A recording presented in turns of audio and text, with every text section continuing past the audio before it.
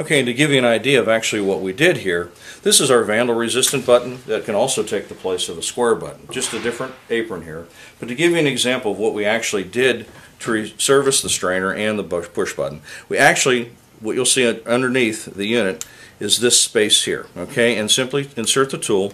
And what we did was spin the strainer out. And when you spin the strainer out, the water pressure shuts off. That way there's no water to the cartridge. And again, this water shut off because this is the incoming water pressure. It shuts off, the O-ring drops down, shuts off, and then when after you service the unit, again, making sure that there's no debris in here, you simply reinsert this, and as you see, when you reinsert it, the plunger moves up, and as the plunger moves up, the water pressure comes back on. The O-ring opens up. And when that happens, now you have water pressure so that you can simply adjust the new string.